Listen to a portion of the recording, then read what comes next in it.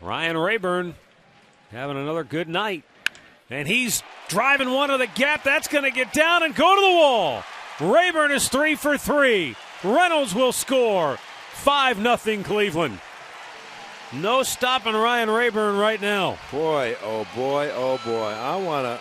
This guy is about as hot as anybody can be right now. What a pretty swing, too, and just pushing it out there into the gap. But I mean, drives it. Oh, he made a little mistake and he gave him some swinging room. Looked like it might have been a changeup away. Look at him stay back and drive it off the back leg. Oh, he's fun to watch.